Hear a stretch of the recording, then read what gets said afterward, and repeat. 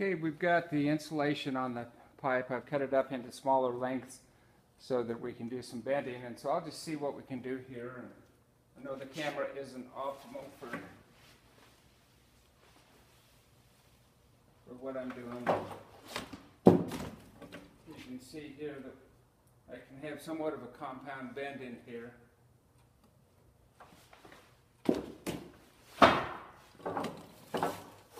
Probably get a fairly good 90.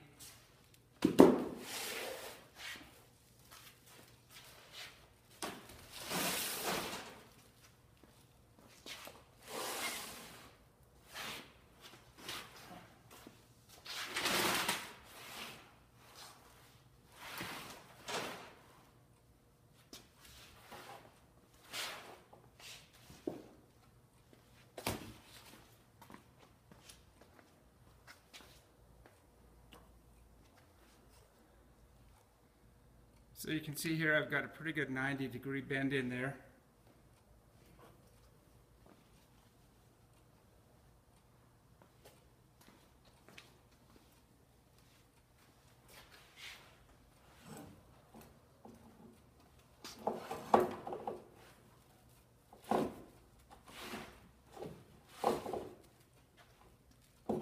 And that's our objective today is to get that good smooth 90. We've one little kink right there.